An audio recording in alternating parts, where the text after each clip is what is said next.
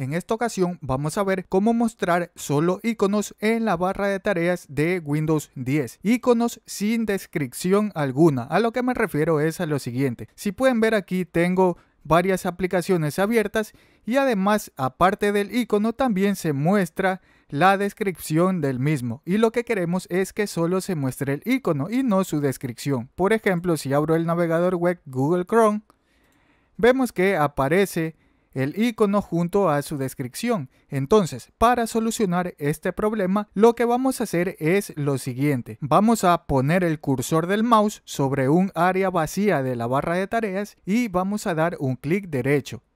A continuación, en la lista de opciones que aparecen, vamos a seleccionar esta que dice configuración de barra de tareas. Damos un clic en configuración de barra de tareas y en la ventana que acaba de aparecer vamos a bajar un poco hasta llegar a esta opción que dice combinar los botones de la barra de tareas. En esta opción nos ubicamos en el cuadro que está abajo y le vamos a dar un clic. Ahora, dentro de las opciones que aparecen, vamos a seleccionar la primera que dice siempre ocultar etiquetas. Damos un clic en siempre ocultar etiquetas para seleccionarla y una vez que hacemos esto, ya pueden notar que ahora hemos solucionado el problema y solo se muestran los iconos sin descripción alguna de los mismos.